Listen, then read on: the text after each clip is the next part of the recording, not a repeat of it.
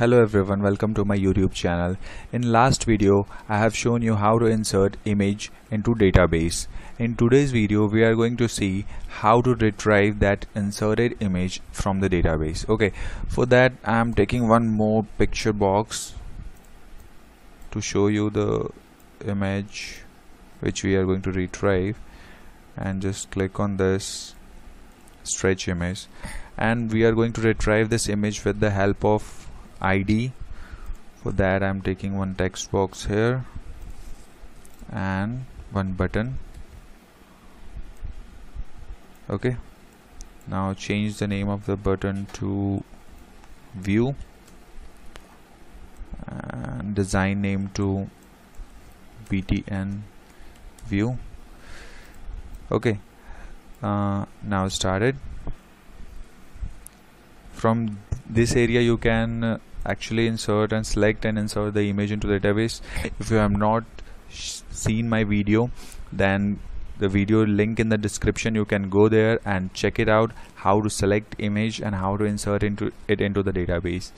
Okay uh, here is one problem that we are not visible that in which area we have to click to make it that uh, I just need a rectangular shape it just drag and drop it here Mm, it will shape a rectangular shape around this picture box and from that we can see in which area we have to click okay? Like this. We put this for both. This will look quite good as compared to simply plain. Just and now execute it here you can see that you uh, the area is defined in which you have to click okay? Now let's let me show you how to retrieve the image. For retrieval we just need to click uh, need a click event of this view button. Just double click on this. And let me copy the code. And I will explain you what exactly it's doing. First we have made a SQL connection okay? And the connection string is this and how exactly this is uh, this is for your PC you can see my previous video uh, of how to insert the image into a database. I have explained it there. This is from the database. This is the database name hello and the security is for true. Now we generate a SQL command object CMD and we have provided a connection this SQL connection con. And after that we have uh, written a query to fetch the data. Select image from the image data. Image data is my table name in the database. Here you can see that image data. Okay. And select image from image data where id is equal to text box 2 uh, let me show you how this query is exactly working. I have put here break mark like I have inserted 301 and view now it's come here and stopped. Here you can see that how actually query is generated from this. Select image from image data where id is equal to 301 okay. How this is working? Here you can see that the text box 2 data is here and merge it with this query. After that SQL adapter and just stop it and SQL adapter uh, we have created object for that and provided the command here. And after that we have data set is used to store the data which is retrieved from the database. And if uh, uh, if your query is executed successfully and the data is in the database then data uh, set is filled with that data. And this if statement is written here to check that if data set is empty if there is no data we have uh, like uh, we have these number of IDs in the, our databases and if someone enters out of this like 501 and 5010 for which image is not in the database then the dataset will be empty.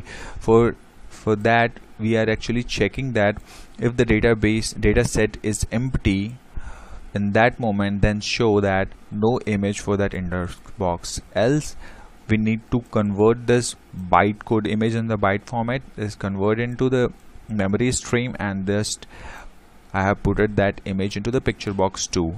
Image is equal to new bitmap.ms now let me show how it works for the how dataset will be seen when you enter a id which is not available in the database like I have entering 301 this id is available in the database and click on view.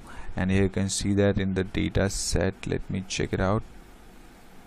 Uh, here the data is available okay? Image data. Okay let me execute this for another which is not available in the database. Now click on view and let's check the dataset what is available in the dataset this is actually breakpoint.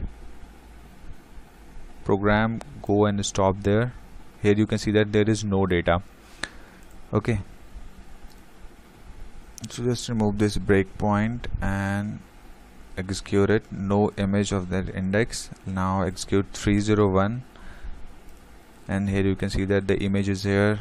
For similarly for 101 for 102 the image in the database. Now let me show you from the start. Select all files images. I'm going to insert mm, something different. Let's search for I'm going to insert this flower okay? Okay. Uh, and I'm going to put an ID 501 let's check for 501 is there any images available? No. No images in this available. Now save this for 501 data is saved. Now the 501 and click view. Here you can see that the uh, image you have inserted is retrieved from this database. Okay. That's it for the today video. Please like subscribe and share and please don't forget to subscribe and put your valuable comments in your comment section and how to insert image into database. This uh, video link is in the description. You can check it out there. And please keep supporting us. Thank you